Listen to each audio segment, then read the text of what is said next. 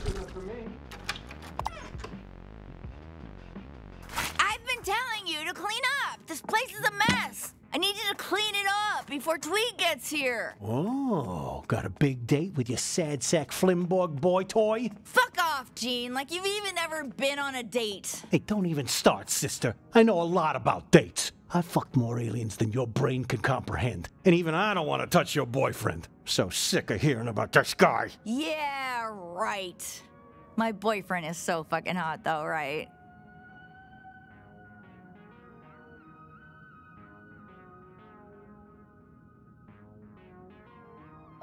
Wait, you haven't even met him. Why are you calling him gross? You know I've got a whole life going on here while you're off having fun, doing whatever it is you do. No, you're right. Her boyfriend's ugly. Just clean up after yourself. Jesus. Hey, look, I'm sorry if I'm coming off harsh.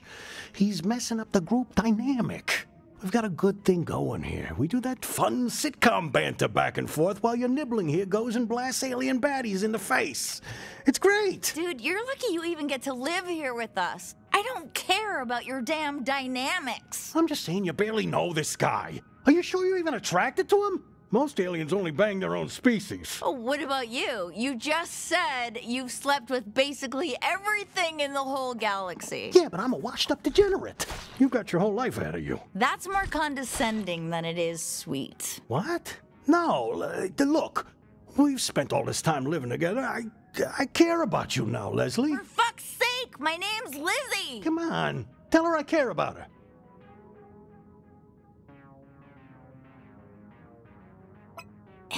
Excuse me? No, sorry. But I am not about to let this fuck up degenerate school me on life decisions. The fact that I'm a fuck up degenerate is exactly why you should let me school you on life decisions.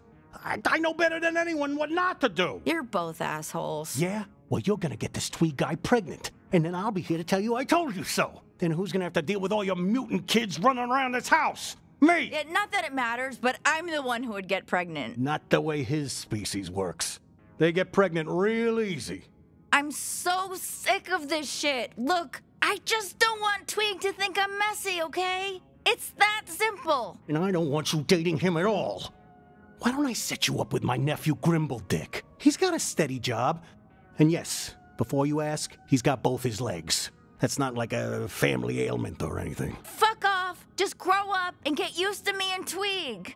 Come on, tell Gene I can date whoever I want.